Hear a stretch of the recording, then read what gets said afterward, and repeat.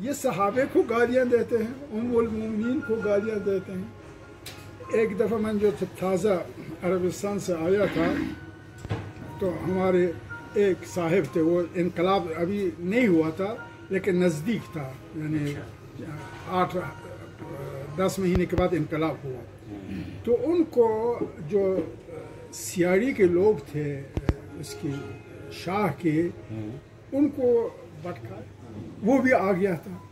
तो उसने कहा कि देखिए, तुम दो मौलवी हो ये कहते हैं कि ये मुसलमान हैं। हम कह तुम कहते हो काफिर हैं। हम क्या करें?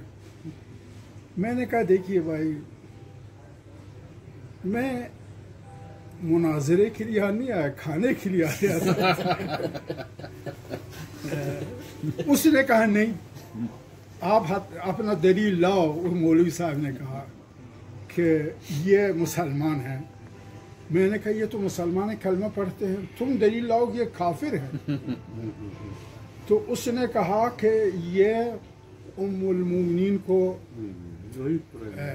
बुरा बुरा कहते हैं। मैंने कहा मैं तुमसे एक सवाल करता हूँ।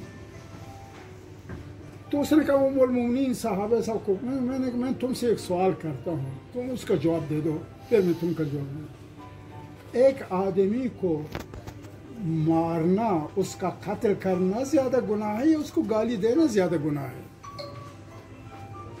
तो उसने कहा, कत्ल करना मैंने कहा, जिस सहाबी ने दूसरे सहाबी को कत्ल किया था, तुम्हारा मंजर क्या वो काफिर है?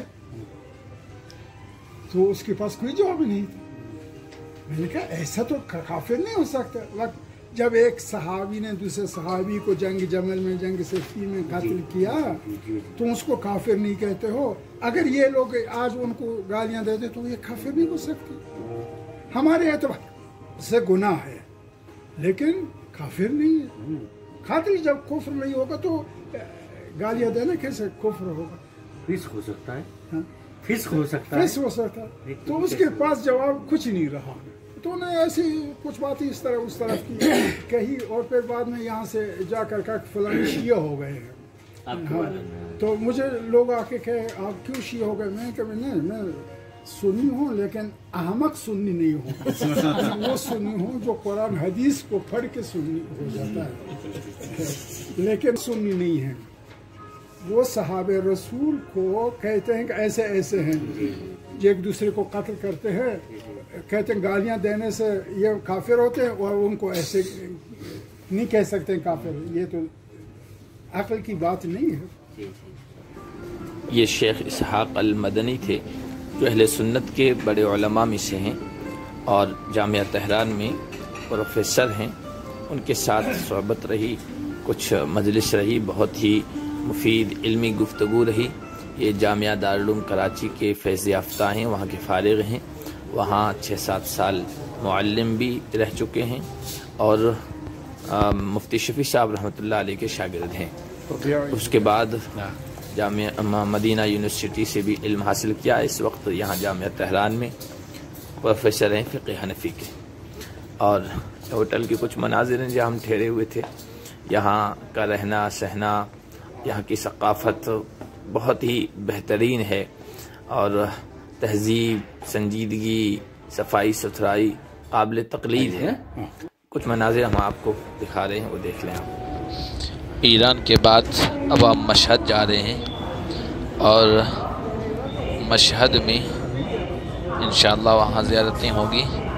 ये डोमेस्टिक जो एयरपोर्ट है अंदरूनी एयरपोर्ट वहाँ हम पहुँचे हुए हैं मशहद के लिए।